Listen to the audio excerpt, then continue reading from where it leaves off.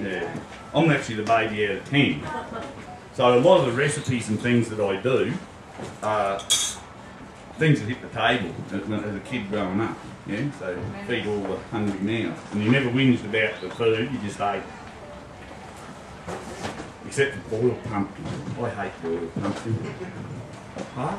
What is it with that everyone seems to have an Auntie June or something that boils the guts out of pumpkin, isn't it? If you're going to do that to it, make soup. Isn't it? Yeah.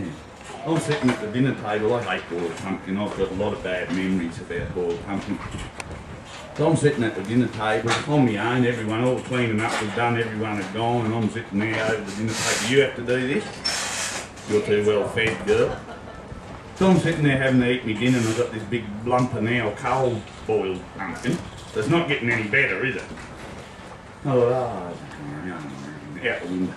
Well, it wouldn't have been a minute, and the old man's walked in, and a big blob of boiled pumpkin fair on his balding head, and he's wiped it off like that, and pop on his plate, walked away again.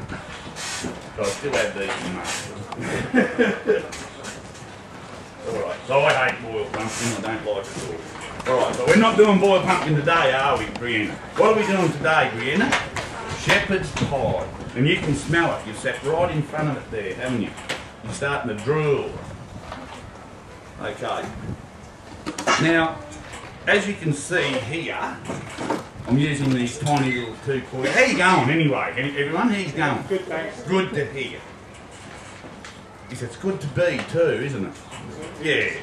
So two quart camp ovens. Look, I'm getting so much interest in what I'm doing with these. I'm cooking things, uh, puddings, lasagnas, shepherd's pie, stew, you name it, in these little things. And these uh, people who are travelling, like couples travelling, that's enough food. So they think it's just bee's knees. It's just great stuff. So that's what they're using.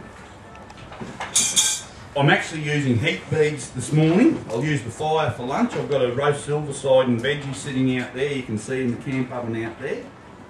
Um, the heat beads also are becoming quite popular.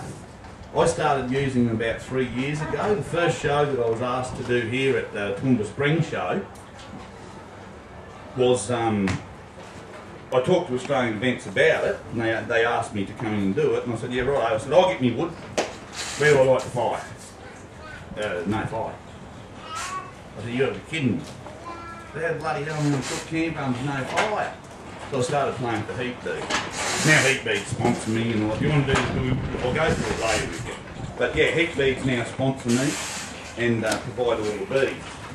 Now, if you're unfamiliar with camp oven cooking, I would say that heat beads are a great place to start because they produce they produce a very consistent heat that's quite high to moderate for about two to two and a half hours.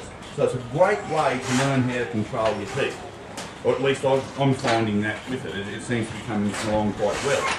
Now, as a rule of thumb, the amount of beads that we use, I'm often asked, how many beads do I use? By rule of thumb, if you have a 12 inch camp oven, right, I say you do the take two, add two. So take two away from 12 and put 10 underneath, add two on to 12 and put 14 on top, and that's probably going to be pretty close heat for anything you want to cook. Okay? If you have something like pork and you want to blister the crackle, chuck an extra three on the lid. So what I'm saying there is, guys, when you're using the camp ovens, the majority of your heat should be on the lid. Yeah, so you cook from the heat, force the heat down. We're all doing that, are we? no. we will now. All right. Okay. So a lot of the, um, I like to use a lot of fresh produce, guys, being the baby out of ten and all. That's how I've kept this girlish figure. Now you'll notice that I'm putting the produce straight into the into the pot. The reason that I like to do that is so that I don't overfill the pot. I want about an inch between the top of the food and the top of the lid. If I don't put that there, of course, things will rise and stick to the top of the lid. So when I go to pour it off, it won't look pretty. Okay? It'll still taste the same. See those, Brianna? Do you know what they are? Mushrooms. They're like me. Fungi. Okay. We'll chop them up. I like to put them whole into the camp oven too with roasts and things. Whole mushrooms go really good. Okay. There's one. Alright, you ever been to Teppanyaki, guys? Who's been to Teppanyaki? Oh gosh, if you want to go out for a night out with your friends, it's such an entertaining night. They sit you in front of a big hot plate. And me being a dumb country boy, I'm only just becoming exposed to all this stuff. So they put you in front of this big hot plate and um, feed you hot sake, which you actually sit on the barbecue plate, this little thing, in a tiny little cup. I don't know. No wonder they got slanty eyes. Oh, not these little cups again. But, but um, Should. Oh! Righto. Bring me after some beans. So yeah, anyway, I got up. I got up with the teppanyaki. Great night out. Them guys are so talented. They were juggling their knives, throwing them up behind their back and catching them, landing stuff up in their hats. Incredible. Stacked these eggs up, end up spraying it all over the place. I just thought this is going to be a mess. And he raked it all up and gone, open your mouth, man. Straight at you. It's like great night out. Brilliant. This other thing they did with um, onions, they cut the onions so you had all the rings, but he stacked one on top of the other and made a tower about this high. He's poured sesame oil in, some sort of plonk, lit her on fire, so it's shooting the flame up like this. And he's lit the whole place up, and I'm going, wow, this is great. When this went out, it started billowing smoke, and he's just got the knife and going whack, whack, whack, and scraped into the meal and served it to us. Great night out, guys. Check out Teppanyaki. Anyway, since I went there, I got this little bug, you see. So, is ready for this? What are you saying? I've still got all my fingers. There's a few bits missing off them, but I've got them. All right, ready? There, one carrot.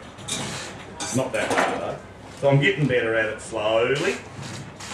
I bought a new knife. 500 bucks I paid for this knife. You beauty. This one's great. And down the knuckles with it and just skips off your fingernails. See? New one I bought. No, ka-chunk, pieces of fingernail. anyway, it's a good knife. I just um, been using it at home also for the out in public. But I, I was doing a gig at uh, Pittsworth last year, just after I got the new knife, and yeah, that's how I found out about fingernails going chonk. So, and I actually happened to be doing this and cutting the onion and thunk, and I went, oh geez, I don't know where that bit of fingernail went. so yeah, if anyone gets a bit of fingernail, that's there to pick your teeth, okay? You don't get away with this stuff in the kitchen at home, do you? Huh? Someone here yesterday, I said, geez, he doesn't wash his hands. I said, pardon me? but I do. Okay. Old Tomo used to say, when you cook at home, you're in the kitchen on your own. You get up the paddock cooking and everyone seems to want to help you. Sound familiar? He was bloody right, wasn't he? And how are you guys going? You know, oh God, what's wrong for you for today? Is that the best you got? How are you going? Good. Good. That's even sad, isn't it? Really? That's the best you got, really. Young fella like you. Right. Beans in there. Half them on the floor. We're going well. Okay, a little bit of bacon, a bit of dead pig. I always like to put into things like stews and shepherd's pies. And shepherd's pie, guys, look what a great way to get rid of some leftovers. A bit of leftover steak or something like that. Chop it up, chuck it in. Yeah? Great stuff. Really good. Really, really good to uh, get rid of things. Get rid of your leftovers. And taste good. And whatever veggies you put in, guys, the recipes I'm using here, the vegetables are very standard. Yeah, very standard veggies. But if you like your squash, zucchini, anything, chuck it in there. If you like the taste of it, you've got to eat it, put it in there. So you'll find a lot with my recipes is they're not static. I actually find it very difficult to write recipes because I'm used to going to a cupboard or a tucker box and going, what have I got? And then making something with it. So there's not really any, it's a bit hard. Although, I've just written a book. I've recipe book, ironically enough. Okay, so um, there's a few yarns and that in it. It should be out before Christmas, guys, if you're interested at all in having a look at that. rangernick.com.au, you'll find it on there. On about half a kilo of mince there. Okay, so that's going good. See, I'm not overfilling the pot. Alright, now when I go to mix it, I'm going to chuck it back in here just because it makes my life a little bit easier. Okay, would you like to help me with this, Brian? There's a hand wash dilly right there. I'm lining her up here, aren't I? Wash it yet, turn that one on, wash your hands, darling. Now, that's a bit of um, mushroom and butter sauce just for a gravy, guys. So, yep, I do like to keep a few tins of stuff in there too for when I do run out of this fresh produce. Yeah. Got a bit of that one, how'd you go? Pretty good. Can you mix that in for me? Give it a good. Yeah. I told you I was lining her up. eh? I've been doing it all weekend. It's good fun. Get hands on, it's called. And in. Look at that. She's loving it. Have you done that before, Brianna? She's a bit of a mix mixerologist, are you? Great stuff. All right. Yeah, egg. Okay, cut up a bit of sweet potato. I love my sweet potato. Now, traditionally, you would boil the potato, mash it all up, and put it on top of the shepherd's pie. Yeah. Correct. Yeah. I'm a very busy man. I've got important things to do, so I need to go down fishing. I'm not mucking around with that. So what I do is cut nice thin pieces. I'll throw some bits a bit dry, but nice thin pieces like that, and I just layer them on top. And that saves me a little bit of time, and I can get and do those important things that I've actually gone out camping to do. All right. So I find a lot of people go out camping, spend all their time in the kitchen, and don't seem to enjoy themselves.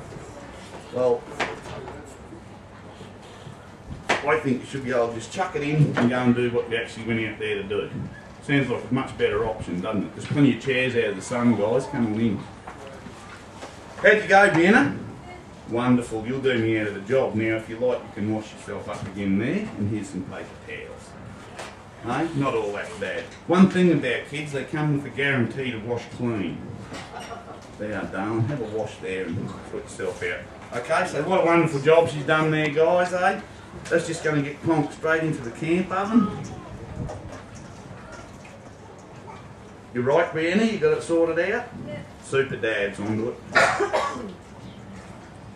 Isn't it amazing though, Dad? Once they hit that 10, 13 years of age, you're no longer a super dad, just an idiot. I've got three daughters, I've been a sole parent for 12 years. So they've all kind of flown the coop now. Youngest one's at a private school in Toowoomba here. And the other two girls are off doing their thing. They're beautiful girls. One's modelling, one joined the circus, and the other one's studying hard at school. Okay, now something you may or may not have seen. Take a bum nut now. So what I've done is just pressed all that into there. Yeah? Take the bum nut, press it into the, and just make a little divot there. Okay, and put about three into that. Excellent stuff. And then just crack her into the hole. Bang on. Who's seen that before? No one. Well, that's a little thing my mum used to do. Okay, we'll see how you like it shortly. Alright, so in go the bum nuts. Oh, there's a bit of shell. We'll be able to call it Ranger Nick's Crunchy Shepherd's Pie. There we go. Into there. Okay, then I just layer my potatoes onto there. Of that. And my sweet potato as well. I like that sweet potato. It gives it a bit of colour too, guys. Lovely. Take the fungi, cut him up into the tomato is actually good for this too, just so you've got a nice pretty pattern on the top there. Certainly not necessary. There's a couple of um, mushrooms cut up into that as well. Now, bit of cheese on the top. I don't know about you guys, but I um, try not to make the mistake of putting too much cheese on the top. I find if you overdo the cheese, you get all that oil. It's not really, it doesn't sit well in my tummy. So don't overdo the cheese, guys. Just enough to cover the top. I like to use mozzarella, of course. Okay, that's looking lovely. Right. And last of all, something again I'd like to mention to you is one of my favourite things, guys, the old corny. Yeah? So I get about a handful of corn cornflakes, great on top of quiche, shepherd's pies, yeah? And if you run out of breadcrumbs and you happen to catch yourself a fish, punch it up like that and use them for breadcrumbs, yeah? And for that matter, if you crumb and fish, grab the crunchy nut corn flakes. They go down a smash with the, yeah, especially the freshwater fish. Morning, Ali. Morning, Nick. How you going, darling? I'm going well. Looking good, girl. Dinner was awesome, thanks. You enjoyed your dinner? Uh, Great stuff. Ali scored the um, demo of the shepherd's, uh, what was it? corned beef. Corn, corn silver side and vegetables yesterday. Not much like wasting food. I was going out for dinner, so I offered it to the staff. Good response. Thank you, Ali, for giving me a little plug there. Ali actually, Ali actually used to be about 40 kilos until she met me. I wish. Okay, now onto the heat beads, guys. As you can see, I've made these up. You can buy a, a burner to light the beads. It's ironically enough called a heat bead burner. And you'll buy them from places like camping shops, Southern Metal Spinners, Oswit. Or Oswit, how's Oswit aren't um, here this weekend, are they? No. Okay, so that's how we're going there. Now, guys, when you are you familiar with the heat beads? Who's playing with them? Yeah, you're playing with them? Okay, so we've only got one couple here that's familiar with them. You'll find they produce two types. That's your regular bead, and these are an easy light bead. Now, they both do the same thing. They both take the same amount of time to light. Heat beads have asked me not to use these with camp ovens or small barbecues. Okay, they're not promoting that. Use them. They take the same time to light. I like to use these, and the main reason uh, for that is when I light them up, they throw a nice big flame. They have an accelerant in them. Yeah, so they chuck a flame out the top like that, and everyone goes, "What's this prawn doing?" Go over and have a look. So it's just something that for the show, yeah. So yeah, stick with them. They're certainly cheaper, and there's more in a bag. Yeah and they take the same amount of time to light. Now, light them with a fire lighter, put them on top of a gas element, or just wander out and shove it in the fire, that whole thing. You'll get the same results, they will take half an hour to light. Now, fire lighters, don't know about you guys, but those white ones, the chemical ones, I dislike them. They make my throat sore, and I can't very well use them inside, they're a bit. These ones, and they're dirty old black and gold ones, Samba make them as well, you can get them at Bunnings, okay? But they're a natural fibre, I think they're a coconut husk. Okay, they look like that, very little fumes, guys, they're great to use, okay? No.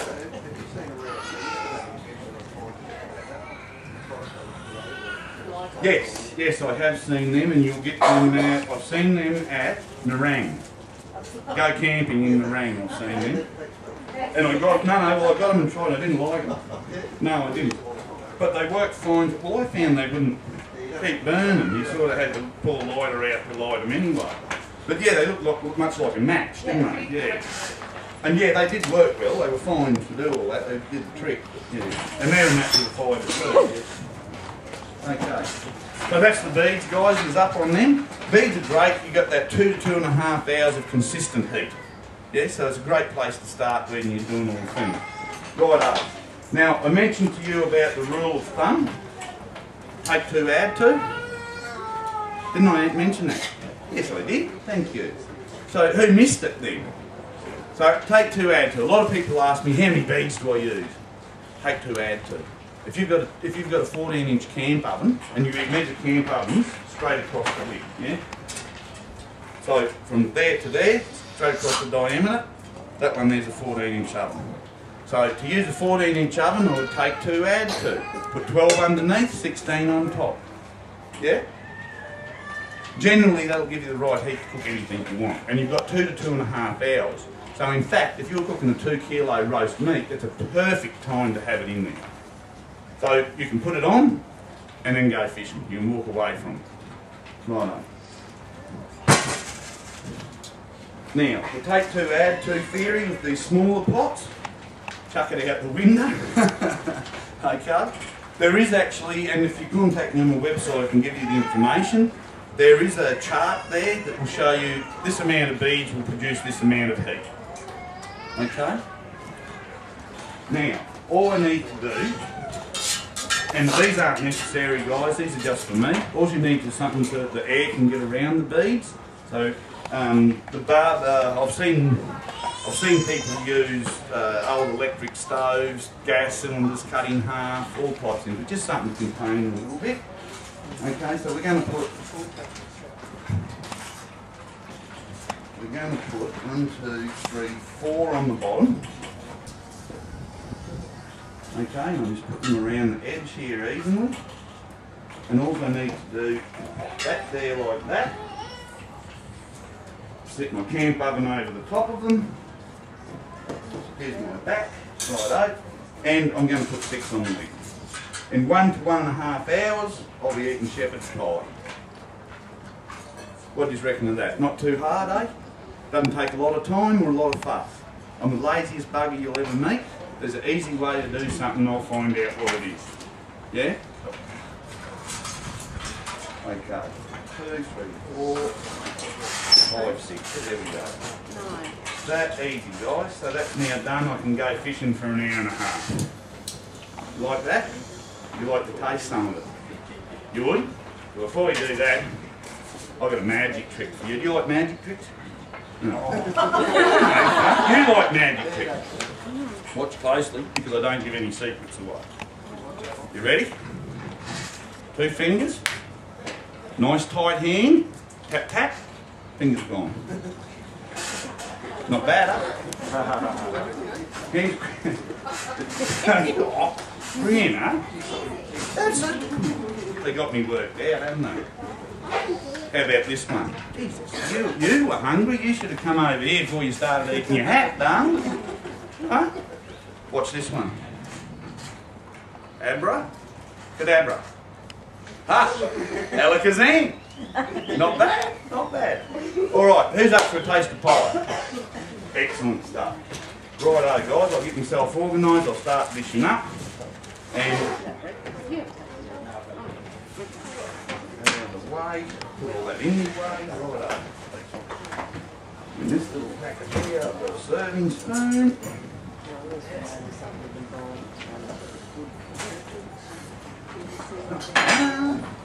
Nearly there. You ready for a look, Vienna? You've been keen, haven't you, darling? How's that look? That all there. Looks yummy. Hopefully it tastes as great as it looks. How's that look, guys? Beautiful, huh? Good enough to eat, doesn't it? Yeah. Okay, so that was a bit in there for an hour. Hour, what time is it now? I put that on at nine o'clock. Okay? So that was about an hour and a half, was it? Course, not eight, it's beautiful. Tell your mum. Lovely, tell your mum. Okay. So hold this shit up.